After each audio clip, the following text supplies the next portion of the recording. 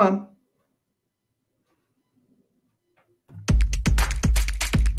Real estate agent, are you looking to acquire clients consistently so you can grow your business and your income to live a great lifestyle? This is Dave Fanale and the RE Skill Builder podcast. Hey everybody, Dave Fanale here with Real Estate Talk TGIF. This is episode 127. Yep, we've done 127 episodes in 125 weeks. Have not missed a week. And uh, we are we believe in consistency. We believe in integrity. We believe in everything else. We've got a great guest today. His name is Mike Michalowicz. Some of you might know him as the author of Profit First, which is how I know him too. Um, you know, also uh, his, his, latest book called Fix This Next.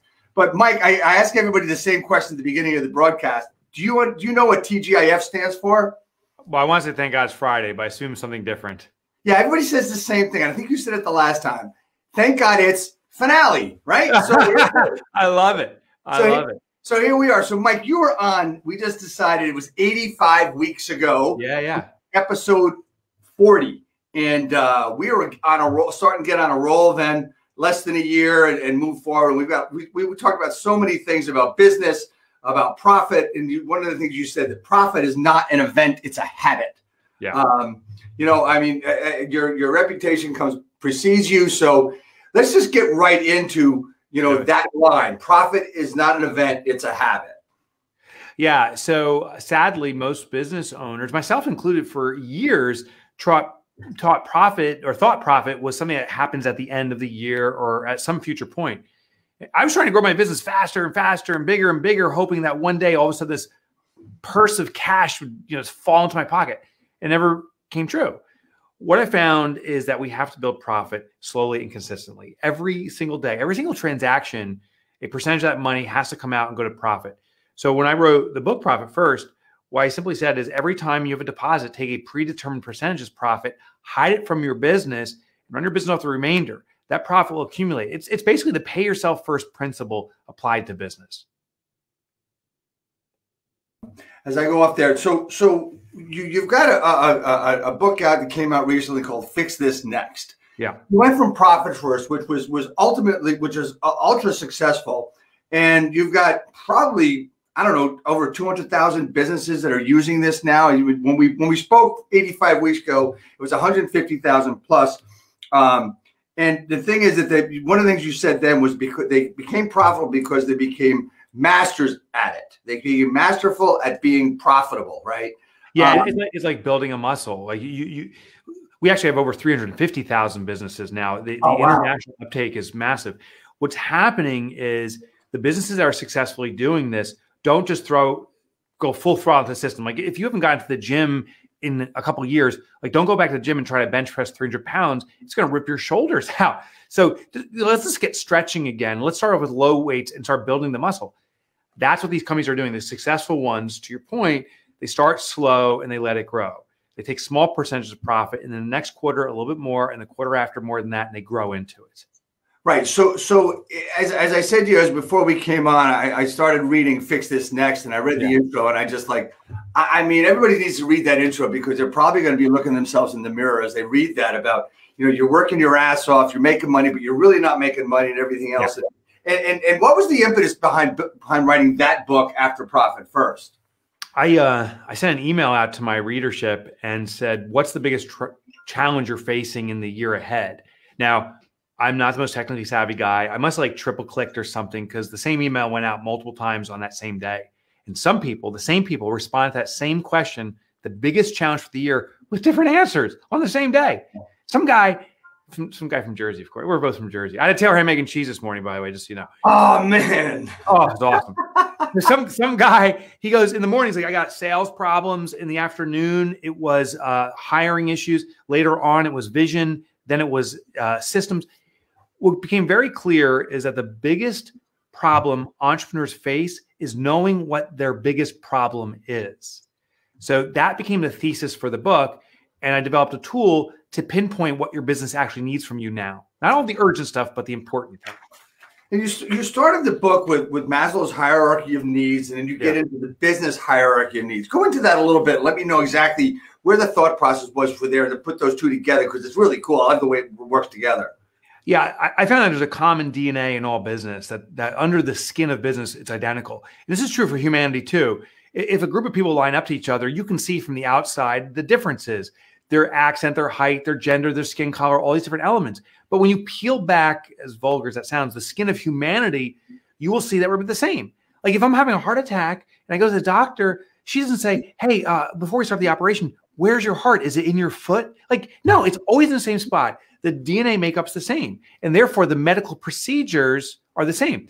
Well, when it comes to business, I looked at businesses of all types, industry agnostic, from pizza shops of course, in Jersey, to manufacturers, to law firms, to everything in between. And I found the common DNA exists. So when we need to do surgery, when we need to repair improve something in our business, we always go to the same spot. Maslow, when he was diagnosing human needs, identified that foundationally all humanity has what's called physiological needs. You and I both need to breathe air, drink water, eat food. If right. that's not satisfied, nothing else matters. That's the core of our biology. But once that's adequately satisfied, then we need to have safety protection from the elements, uh, you know, harm uh, from others. Then once that is protected and served, we elevate to uh, belonging, to belong to a community, esteem, ultimately self-actualization. But at any time a base level needs not satisfied, we must revert to it. If I'm choking, I got to expel that thing that's lodged in my throat to breathe again. Well, in our business, we have a hierarchy of needs too. There's just one fundamental difference we are neurologically wired into ourselves. I know when I'm hungry. I know if I can't breathe. I know when I'm cold. But in our business, we don't know instinctually. We think we do. Right. You know, everyone else is running Facebook ads. I should too. Maybe our instinct should be a beacon to investigate, but we need to study the hierarchy and use empirical data, information to back our assumptions. Foundationally, every business needs sales. That's the oxygen for a business. It creates cash. No cash, your business is suffocating but only when that's adequately satisfied do we have to worry about the next level. More sales is not necessarily a good thing. There's a certain point you can hyperventilate, you're overbreathing. We need adequate sales, we need to breathe, but then we need to absorb that oxygen to the bloodstream of the business, and that's the extraction of profit. So sales is level one, then profit brings about stability in organization. When you have stability, you can start leveling up to order. Order is the creation of efficiency, where there's no dependency on the owner or other employees. There's no linchpins, there's redundancy. Once that's adequately satisfied, we can elevate to impact. Impact is the creation of transformation. This is where clients who uh, are served by our business are experiencing a transformational experience. It's beyond the transaction, it's transformation. And then the highest level is called legacy. Legacy is the creation of permanence. And this is where a business is designed to live on generationally. Not, not necessarily my family buys the next generation or runs it and so forth, but it's meant to serve generations of clients because the business is that important. That's the five levels of the business hierarchy of needs. That's a great. I mean, you said legacy, and people think, well, I'm going to leave my, my mark on the world and everything. But legacy is a creation of permanence, is, is, is what you did, and hopefully it moves on from there, right? Yes. Um, yeah, and then and, and this all goes along with you know the feeling of helping people. It all goes along with um, focusing as well when you talk about creation of stability and creation of efficiency into the transformation. You're talking about all that rings of collaboration of working with people that are going to help you out and you can help them out, right? How does yeah. that how does that the, the purpose or the focus on collaboration help business and, and help it move through when it comes to fix this next or, or profit? Yeah, first? sure. Great question. You know, there's internal collaboration and there's also external. So I'll start with the internal. Good. As, as I apply this to my own business, I realized the the bottleneck for the growth of our organization became me. I, I considered myself the superhero for the business, which is very egotistical. I was like, oh, I can swoop in and save everything. I'm so important. But I realized the business can only move forward as quickly as I was involved in it, and I only had a certain amount of time per day. There's 24 hours. I decided to pull myself out, but the fear was if I leave the business in participating in it and I leave the responsibility to my colleagues now I'm putting burden on them. I'm the guy going on vacation and they're paying for it. That's what I thought. But then when I started to do this, I talked to my team. They said, no, no, we're not, we don't feel we're taking on burden. We feel empowered. We are working now collectively. It was actually me stopping that superhero behavior that started internal collaboration. They started elevating each other.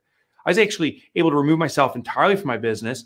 And now, as an owner of the business, I've reinserted myself in the way I get joy. I like to be the spokesperson, kind of like we're doing now. Right, right. So I do the two things I love to do. It, it, brings me joy, and my team they run the business. The beautiful thing is my business doesn't need me. If I, if I leave, we will continue to sell to clients, generate revenue, and so forth. I just got to do what brings me joy. The other part is collaboration. If we really want to scale and elevate our businesses, we need to connect with people who can expand our communities and we can expand theirs. So, an active outreach to other vendors, sometimes even competitors, and seeing where we can support each other elevates each other. It's, it's that concept of as the tide rises, so do all boats. How do I lift up my collaborators, my partners in industry, and even some of my competitors? Because I know as a result, they're going to also lift me. That's what we seek to do. I love that because collaboration is really one of the most important things, and I think it's one of the things that people miss in in their businesses. Like we're talking about, you know, helping real estate pe- people in the real estate business. Yeah. That's that's where I'm at with as a coach, right? And um, the, the, the the most important thing is for them to see who can help them, not necessarily copy what others are doing, because a lot of a lot of people, you know, when you first get into business, someone's going to tell you, someone inevitably is going to tell you, find out someone is doing really well and copy what they're doing. Well, sure. here's the thing: unless you're going to actively collaborate with them, you're not going to understand what they did and how they got there. Yeah. Right. Yeah. It's, it starts to undermine your authenticity. So it's funny. I've seen that where people say, "Oh, I'm just going to fake it till I make it. To copy someone else." The problem is if what they're doing is not rooted into consistently with who they are naturally, there becomes this disconnect. And and and the consumer is very smart. They they see that like I see how you're marketing advertising. I see in person. There's a little disconnect here. They see an untruth. And now that starts compromising your ability to be of service because if people don't trust you, they don't trust you. Wow. So you gotta be very careful about copying others. Here's what I do. I, I I definitely research what other people are doing that's successful for them. And then I say, how do I envelop that in the work I'm doing? How can I be an amplification of who I am? And is there shortcuts and techniques I can learn from others? And I share my stuff actively too. Here's stuff I've learned that works for me. I encourage people to take it, but put their own spin on it. It's got to be natural and authentic. Because when people, you know, especially in real estate, when they see your online presence, they see your advertising, they meet you in person, if if that's all consistent, like, this is exactly the person I expected, you've instant trust. And when you've instant right. trust, you have a client that's going to do a lot of business with you. Yeah, it's, it's you know when, when I say when, when I talk this is one of my favorite topics because I see it happen so often, and my objective is to help these agents, you know, see what they're doing and and actually go deep instead of wide, and and that's what they're trying to do is see what somebody else did, and they do it all over the place, and they're using the same verbiage, and and honestly, Mike, some of the verbiage they're using is like from 30 years ago, and right? If they're going to use it that way, I mean, there's no time machine. It's not what you do, it's how you do what you do. It's not what you say, it's how you say it's how you say what you say. And the stuff from 30 years ago will work if you say it the way you talk today, not yeah. like the way they talked a long time ago. It's the same thing with business, with, with business and finances. Would you agree with that? Oh, totally. We got to be careful of patchwork business where we take the best here and the best there and we make this quilt out of it it can be kind of disheveled because it's not congruent. It doesn't make sense. You know, right. you think about the customer journey, there's a discovery period. The, the very first time they hear you, that first impression then turns into a journey of building rapport. And maybe they don't even meet you in person. It could just be all online, but they're trying to build trust. Every time there's a disjointed message, is incongruent, it adds confusion. Those are all points where we lose the customer. So um, it's funny. I call this thing ports of entry is another way to look at this. That first impression matters very much. Now, you and I both live in New Jersey. We know that New Jersey, unfortunately, has a reputation for not being the cleanest state. Even though, if you know New Jersey and you live here, it's like it's a beautiful state. We have things that you know we're the blueberry capital of the world, and people don't know it. Right. The reason is we have problems with our ports of entry. The number one port of entry is New Jersey. So there's a big industrial area there. You fly in, you see in industry. You come out of New York City, another major entry point through the Lincoln Tunnel or the Holland Tunnel. You're in these industrial areas. Or if you come through the turnpike, you're in the industrial areas. That represents 0.1% of the state, but everyone sees that first. That's the first right. impression. So people right. are like, oh, New Jersey, sorry. New Jersey's awesome. So here's the thing that we need to know in our business that first impression, if it ain't you and it's not authentic, you're in real trouble. You're showing an industrial park when you're a blueberry capital. So you got to be very careful about how that first impression plays out because that's the impression they're going to carry with them. Uh, exactly. And, and, and like you said, and I said, it's got to be consistent across all channels on what you're doing. If you see that, you're going to have a lot more, you're going to have a lot more value to them because they see what you're doing. It makes a lot of sense. So I segue, I want to go in, in, into, into something you, you, you worked on and Fix This Next, and it's called the Omen process. Yeah. Um, could you could you go into that? explain the, the, the, four pieces of the sure. Omen process and how it works. Yes. So the first step in the Fix This Next process is we got to figure out what your biggest problem is. Remember that thing that the biggest problem entrepreneurs face is knowing what their biggest problem is. That business hierarchy of needs we went through that helps you pinpoint what you need. The quick analogy is if you and I had a chain between us and we're pulling it, the chain will always break in the same spot, the weakest link. But most entrepreneurs are trying to fix everything. I'm going to fix every link, but it keeps on snapping because this chain is only as strong as the weakest link. If we know what the weakest link is, we need to strengthen that. That's the goal. So the business hierarchy of needs pinpoints the weakest link. Then the question is, how do you make the link stronger? Use Omen. Now, Omen is four steps. Sadly, entrepreneurs usually only inherently know two and do two, and it's a big problem. They know the first one, which is objective. What's the link you want to fix? I got a sales problem. I have a profit problem. Okay, that's the objective. The M stands for the measurement. How do you know you successfully resolved it? You know, I've included increased profit by 10%. We get three more prospects a week. That's the measurables. And most entrepreneurs know that, but most entrepreneurs leave it there. They do a set it and forget it. We need more sales. We got to increase by 10%. We need more prospects. We need three more a day. And then they're like, okay, on to the next problem. They're trying to fix the next link. Well, they set a goal, but they ignore it. And they come back three months later or three years later and say, oh my gosh, we didn't achieve that. Let's set another goal. We need the two other elements. This is critical. The E in OMEN stands for evaluation frequency. How often are we going to evaluate our progress on that objective we set? This is a calendared event. This is critical, Dave. You got to put in your calendar every week, every month, whatever the appropriate frequency is to see how you're doing so you can do the next step. The next step is nurture. Nurture is giving yourself the flexibility, uh, the responsibility to adjust any objectives and measurements that you set that were incorrect.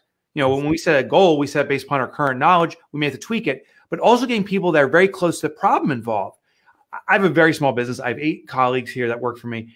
My my eight team members, for example, we do a lot of blogging. Well, Jenna at our office is responsible for our blogs instead of me just saying, you know, we got to increase our readership on our blogs, Jenna, who actually does a lot of the work in that space, she's telling me, here's what the real objective should be, and here's how we do it. The person closest to the problem usually has the best solution. It's the entire omen, objective, measurement, evaluation frequency, and nurturing that's required to actually improve a weakest link and make it your strongest link. When you identify the weakest link in your business, set out to resolve it using the omen bring it to resolution or a path to permanent resolution, the point where you know it's being fixed, and then you move to the next link. Don't just start it and then jump to the next one. That's awesome. And one of the things that I, that I really, I, I, really, I mean, I saw everything work down and how it all worked. And you said evaluation frequency. I think that that I don't know if that's the most important, but it could be, you know, because a lot of things that I've learned in my business throughout the years, and one of the things I was first told when I was on my brokerage was make sure that you inspect what you expect. Right. Oh, I love that. I love that. Yes. Right. Yeah. Friday's my day. I actually uh, do this for my own personal life. Actually, I'm going to show you something personal. I have right here my own intentions for my life uh, for this year. I do it every year. I type it up and I inspect it every Friday, um, along with my business objectives to measure our progress. Right outside my office here, we still meet with our COVID masks, but our team comes in and every Friday we go over our goals. You got your your COVID mask there too. Every uh, Friday we're looking at our goal progress, um, and we set very specific goals. For my own my own responsibility in our business this quarter is to increase book sales by 100 books per day. It's very specific, and every Friday we're measuring our progress. Uh, uh, another person here, uh, Marixa, is responsible for bringing $30,000 more of monthly revenue in one of our offerings. Uh, uh, another person is bringing about what's called wearables, new uh, new products and ideas we have. Everyone has their specific goal and we're measuring it every Friday because it's being uh, expected and inspected. We're making progress. Yeah, and it's it's it's so important to look at things like that, and so many people forget about that. Where where it's like, okay, what do you got to fix? All right, it's fixed. Let's move on. And just like you said, I mean, the Omen process is is, is, is such a great way to, to put it all together, right? Um, yeah. and, and and so so we we go back. We only have a couple minutes left. We go back to to building a business. What would you say is when it comes to finance, when it comes to money? Yeah. What is the most important thing for someone to look at when they're starting a business and just starting to get rolling with it? And they got money and they're investing money. And yeah. you know, you talked about a lot of things the last time you were on 85 weeks ago, but you know, talk to me about that. Yeah, more sales is dangerous. So the a lot of people think you sell your way out of things. The more sales, the better. Here's the danger in sales: the more you sell, the more responsibility you have. So the more transactions you have going on, the more clients you have to serve the more stress and responsibility on you. So it's actually the margin of the sales that's more important. It's better to slow uh, to sell a lower frequency with a higher margin in most cases because you can extract profit and bring stability around. It, brings less uh, overwhelm to you because you don't have to be scrambling as much. A lot of business owners, real estate agents in particular, think I'm not making money. I need to sell more houses and more houses. And the answer is maybe not. Maybe at the sell houses better, right? So let's slow down the the manic call to just sell more and let's sell things that are actually profitable. That's the key. That's that that that's really cool. So you know, I just I'm putting on on um, on the screen mikemichalowicz.com, but there's also another site where you that, that you talked about the last time, mikemotorbike.com. I had that set. I don't know what happened to it. Well, no one can spell Michalowicz. Uh, you know, the app that is like what the hell so uh, everyone can remember mike motorbike it still exists it actually forwards you to my website so if you go to I, mike yeah. um, my books all those books you see there uh, i used to write for the wall street journal um, and i actually have my own podcast called mike up in your business it's all available for free at mikemotorbike.com MikeMotorbike.com. Mike, any parting things you want to tell people aside from you just told them how to how to get there? What's the what's the last parting thing you want to, you want to give everybody right now? okay you you the one listening in right now wherever you are in cyber world you have a responsibility to be successful this covid crisis uh, is probably the most significant economic shift we've ever experienced since right. the great depression and it's a weird event because we see a collapse of main street with an incline in wall street right the stock market's taking off as main street collapses that is a very dangerous situation which means there is a tsunami wave of change coming but here's the great news out of every economic shift, the businesses that pull us out of it are small businesses. You, me, us. Small business will rise in this occasion and turn the economy. And I don't know the names of those businesses today, but in five years, we will all know those names. So my question is, why don't you choose you? Why not you be the one who turns this economy and start with you? You have a responsibility to be successful. Mike, thank you so much. And I know last time we got cut off at the end because I went through that, and and and the reason you came back on finally was well, I want the hat. Right, exactly, right. So you wanted your hat, right? Everybody gets a hat. I actually autograph them. So how cool is that? I right? love that. I've been so, waiting for that, and I, uh, now you got my address, so uh, I look forward to throwing that cap on. I'll be sending that to you soon, Mike. Thanks again for coming on. Thanks, uh, really busy. You know, it's really cool. If you can stay on for a second, please do. Um, we're going to see you and uh, everybody. I hope this was good for everybody here. And we'll see you, you see you again next week with Tina Call at 11 a.m. on Friday, the day after Thanksgiving, Black Friday. Well, actually started last week, but anyway, here we go.